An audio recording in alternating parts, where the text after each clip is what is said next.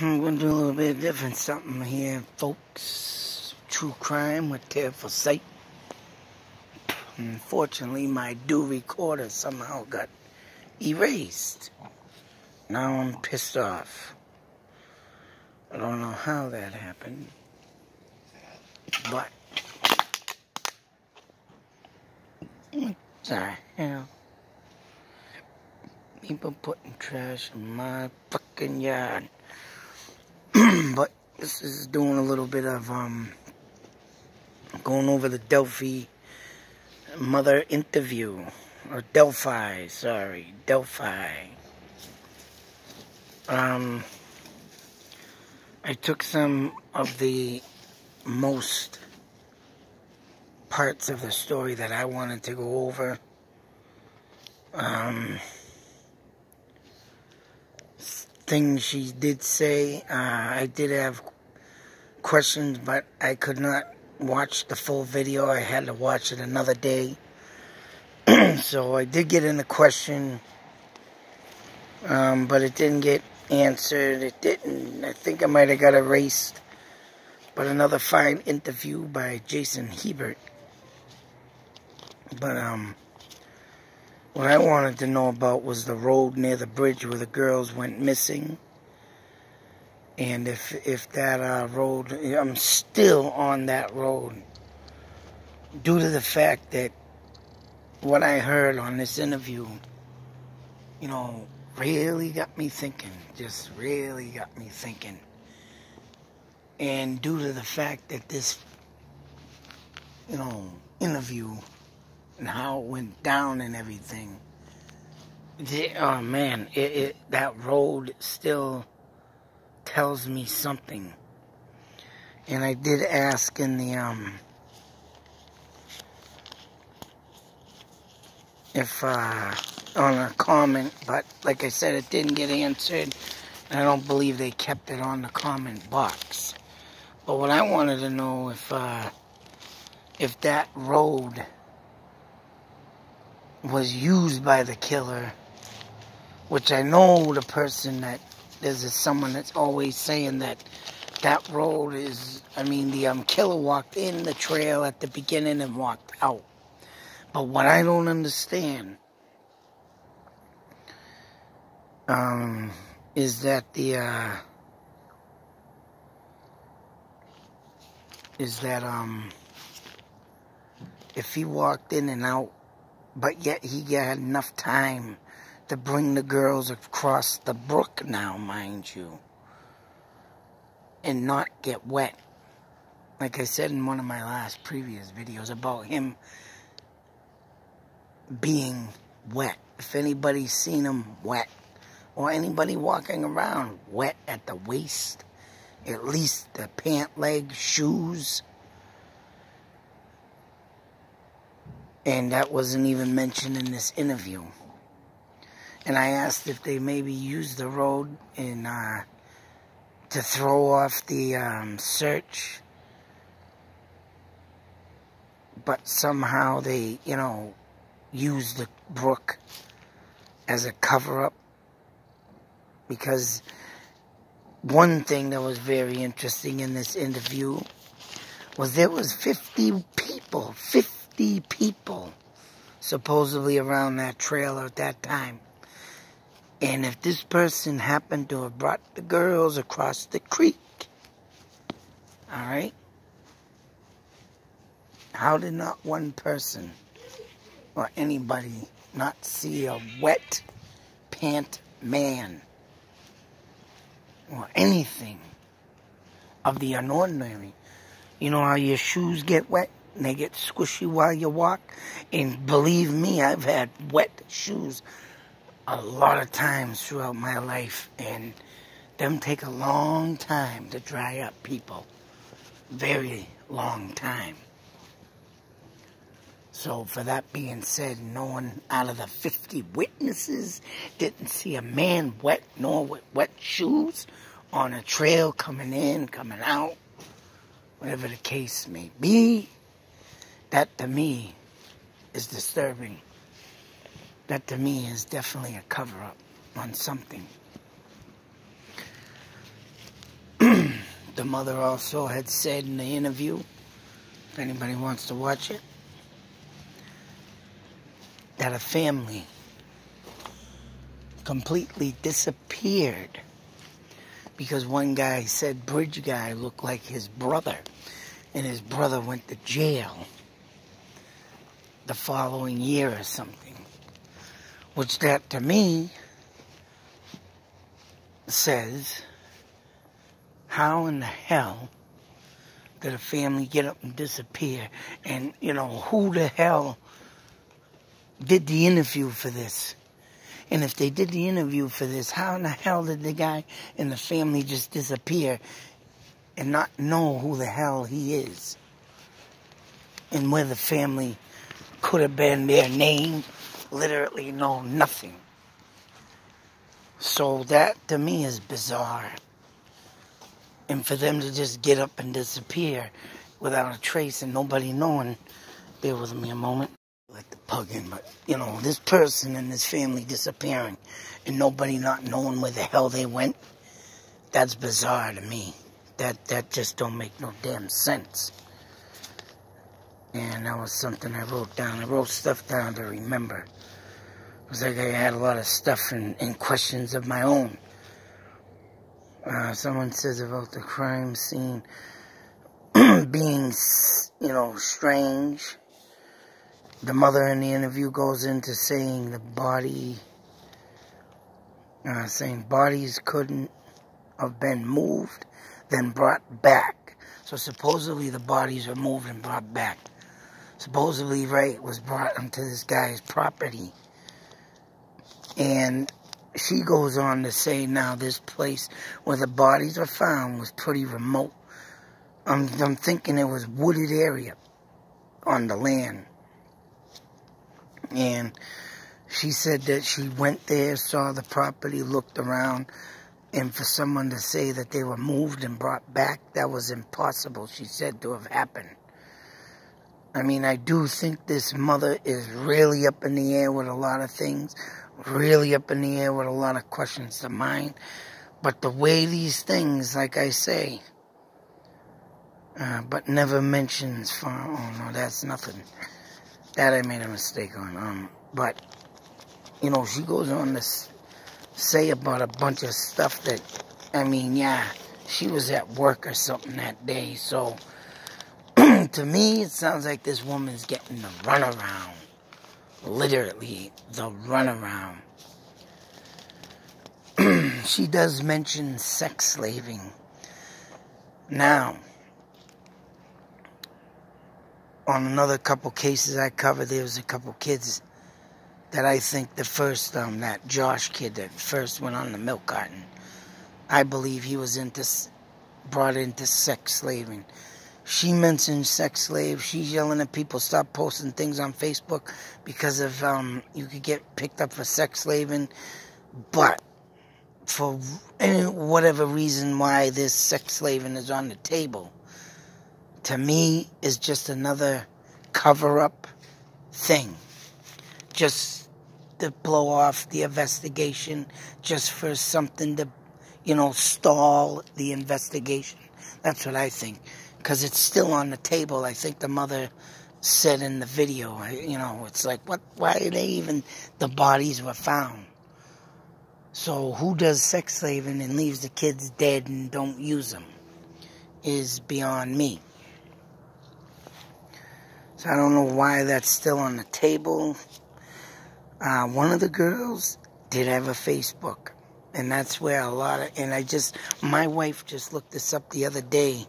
I mean, last week, sometime last week or the beginning of the week before, she read me a post that someone posted on Facebook that don't put your location of your daughter's school or your son's school. Don't put your location of this and that on Facebook because there's people out there, right, that search these locations. They find out where they go to school. They take a picture that you send your kid off for your first day of, say, high school or first day of middle school and you post it it. They look for, the, they take the picture, they screenshot it, they look for the kid at the school, and then they kidnap them, kidnap them for sex slaving. I guess that's how they do it. One of the girls, the mother said, secretly did a, uh, a um, Facebook page. and I believe, and I got a reason to the bit of a doubt that she was stalked. Not by sex slavers, but I think by someone that is local in town. I mean, this, this is a case of someone being real close, too close for comfort. Um, then she goes on to say, the mother says that there's like a bunch of men in the town that dress the same as Bridge Guy. Now that's insane. If you got a bunch of men dressing like that guy, then you got a bunch of um, middle-aged men who uh, dressing very poorly and looking very, you know, suspicious in my eyes because, you know, oh man, I don't know. If you're dressing like that in one town, someone's very bored with themselves. I mean, it's insane to even think that. I mean, yeah, you got your trends and stuff, but you know what? I'm the type of person that always have put my own style, which ain't great, but I don't care and I don't copy nobody. I remember back in the day, everybody tried to dress like everybody. You in school, this kid dressed like him, he dressed like you. You got twins here, you got people over there, they look like this and no. That wasn't me. I always wore my own style. And to find out this time, got a bunch of men that look like Bridge Guy and dress the same way. You're put, picking a needle out of a haystack, I, this woman makes it sound like. But, I don't know. the buddy system she spoke of. The now, I'm not trying to put down nobody. I'm not trying to make anybody. All right, don't get me wrong, but name shaming or, you know, downgrading. No. But if, you know, I, I always say, man, today's kids ain't got the street smarts. They, I mean, you can tell them all day about the buddy system, or you can tell them all day about you better do this or you better do that. And in this case, unfortunately and sadly, nothing worked you know, the girl snuck out and got a, a Facebook page. One of the girls had a secretly boyfriend, but, you know, he was cleared of everything. There was no, she's living a good life, the mother said, but still, this secrecy stuff, my son's still doing it to this day. Like the one I always speak of with the mental health. And I do try to tell him every day, like a parent, if you get into a predicament, you cannot solve or you cannot or feels very dangerous. I told him to run like a bat out of hell and run to a public place. Unfortunately, these girls didn't stay around locally in town. They like to go wander off in the wooded areas. And, you know, it ain't a bad thing, you know. You shouldn't be, you know, stalled in life of your independence. You should be, but, you know what gets me seriously about this case is that, um, if they had the street smarts, and I'm sorry, I'm not trying, like I said, I'm not trying to downgrade nobody. She did the best she could to acknowledge her kids, but if they had the street smarts and that guy told them down the hill, all right? You got two kids that were athletically in sports, and you got this fat looking stupid bridge guy probably is middle aged and overweight. He does look overweight. He does look middle aged, and he's probably out of shape. I'll tell you, if I was a kid with my street smarts and my knowledge, if I have today as I had as a kid, I would have ran down that hill as fast as I could, and then I would have ran off to the right, and then ran up the hill. And if that fat bastard was chasing me, you know, I had that happen to me once. And it wasn't, I was getting kidnapped to chase. It was due to the fact that I was um, throwing snowballs, doing something stupid. I hit some guy's window, and me and my friends, and he had a, his window open, mind you, just enough to smoke a cigarette. You see the smoke coming out, right? So we were lucky enough to hit the window with the crack. Snow went in. You son of a bitch! Pulled into our street. We were all on a roof. He's gonna fucking kill us, he said. And I jumped off a, a roof. I stepped into the garage. The people, I knew the people, but it was nighttime. I wasn't even supposed to be on their property, but I knew the people. But I stepped on a rake. It smacked me in the face like a friggin' cartoon. I turned around, and the I, you know, I'm like, oh, maybe he took off down the street, but he was down near the friggin' um, walkway because I had steps that go down near the fence. Now picture this: there's a, a little. Um, hallway type little pathway and two between two houses, my house and the house behind me. Now up the fence, I thought he was gone, went the other way, but he wasn't. The guy was standing right there on the steps. So I ran in between the houses. He started pursuit. Gonna kick my ass, boy. If that man was that man literally was six foot two, probably like two hundred and fifty pounds. And who was he pissed? And I took a, now picture this, you're going through this little pathway. You could take a right out to the road on a straightaway driveway, or you can take a, I mean a left out the road on a straightaway driveway. You could take a right up a hill on railroad ties. And because I took that, you know, step a lot of times when I was a kid up them railroad ties, I had that down pat. It did have snow on it. But boom, three, four stride steps up that. He almost grabbed my leg. But because it was railroad ties and he wasn't known of the area, the guy friggin' pulled, slipped, fell right on his fucking face. And I got up off them damn things, turned down the road, man. I was gone on the railroad tracks. I didn't go home till like an hour later.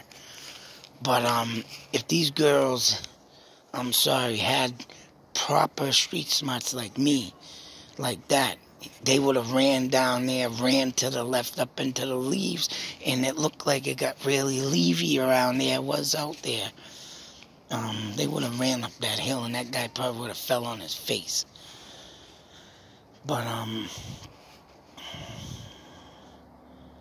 like I said, I was wondering if they um threw off the search by using that road because 50 people out there at that time, and not one person saw a man coming out of the friggin' and that's another thing. If them girls could have ran from that guy and got up the hill, they could have started texting somebody instead of recording. They should have been texting. You know, that would be my thing. I see a strange person, I get an eerie feeling. I mean, but they're saying that they could have known the person or it was a local person and they felt safe around this person, maybe, but I tell you, a text would have done real wonders. Not recording a voice, but texting, hey, I'm here on the bridge, someone's here, and I don't feel safe. That's what they should have done. That's where the real street smarts comes in. If you, you know, I just thought that up the other night when I was thinking about going over all this after I watched the video. So it was like, why didn't they text somebody if they, you know, but other than that, I think someone stalked their Facebook page though. And yeah, these days you don't want to be putting up pictures and locations. I mean, yeah, you can put up pictures, but no locations.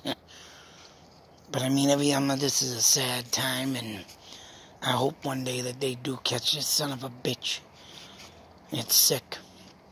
But, um, them are some of the things that caught my eye. And that road, man, I think something has really something to do with that road.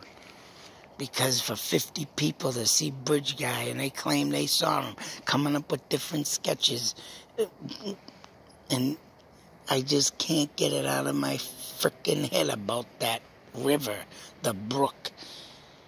If he went across that brook like they say, then someone had to have gotten wet. And he should have gotten wet. And that should have been right there. Someone should say, well, look at this guy with his wet shoes. That right there would have got him right away. And then that witness, I saw that man with the wet shoes. He did it. And, but nope, nothing's coming out of this. It's like it's it's stopped in time, and people are stopped with um, their mouths sewn shut because they don't want to get involved. I don't know. I don't know, but these are some real, you know, questions that if I would have had time to been there, I would have been asking them, but I didn't get the time. But this is what I got out of that interview. And it's some crazy shit, though, man. All this stuff. Stuff that you can find out about later on, and it's like, mm, what if this would have happened, that would have happened, but nope. Insane people, but I, I, I give a huge salute, and um, hope one day this woman and the other people, all families, get closure on this, and I hope that son of a bitch gets caught hopefully vigilante justice takes its toll. Till that next video, be safe, take care, always beware. Because if you ain't got them street smarts, I'm sorry, man. You ain't gonna make it in life. This ground will be your life. And that sucks to say. But everybody, be safe. Out.